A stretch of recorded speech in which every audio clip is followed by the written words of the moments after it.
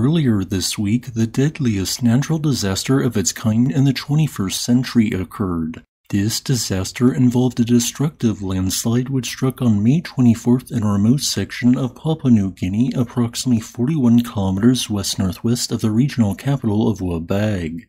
This landslide began at 3 a.m. local time, the absolute worst time of day when everyone was in their homes sleeping. All of a sudden, a faint rumbling began which continued to get louder and louder as an estimated 600,000 cubic meters of the adjacent Mount Mungalo collapsed all at once. Advancing at a speed of an estimated 40 meters or 131.2 feet per second, a wall of rock up to 130 feet thick struck its first structure a mere 4 seconds later, leaving absolutely no time to escape. As this landslide continued, building after building in a densely populated area was destroyed, with the slide coming to a rest about 780 meters or 2,559 feet from its origin. Some boulders tumbled even further, rolling beyond the bounds of the continuous landslide block and crashing into homes and trees further down slope.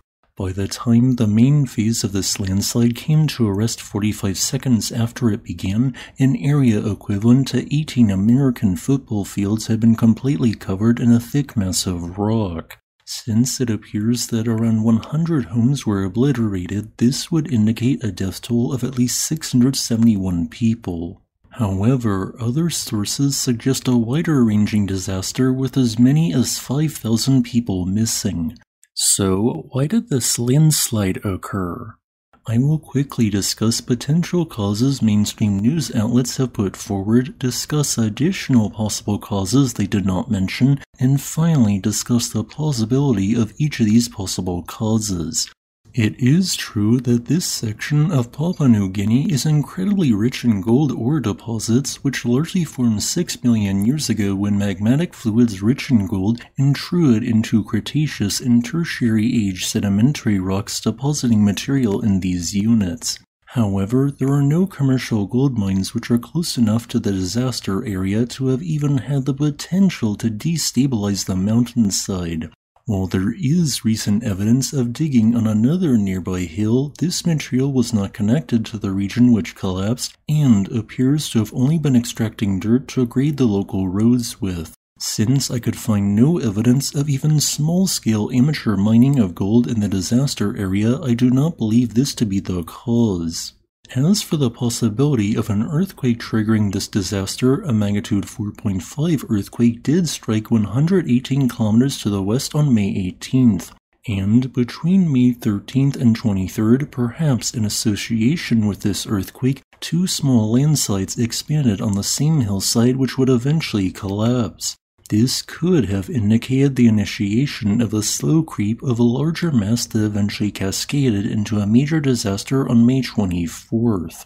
Based on a limited dataset, ground shaking at the disaster site on May 18th likely approached 2 to 3% the force of gravity, which is just barely above the scientifically accepted threshold needed to potentially trigger a landslide.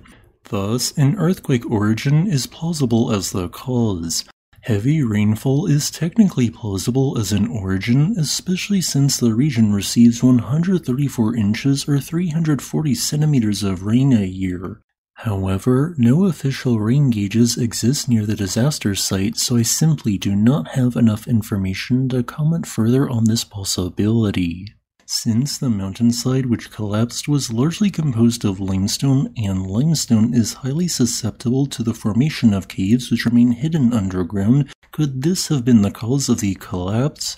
While technically plausible, we have found no direct evidence of such a cave existing. However, what I did find evidence of was the reduction of vegetation coverage on the hillside which would collapse between 2017 and 2024.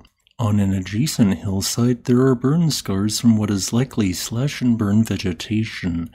If this process clears enough of a hillside's vegetation, which naturally holds down underlying rock via its roots, it can destabilize the hillside and eventually result in a landslide. We don't know which of the aforementioned theories is what happened, with this subject likely to only be figured out months from now.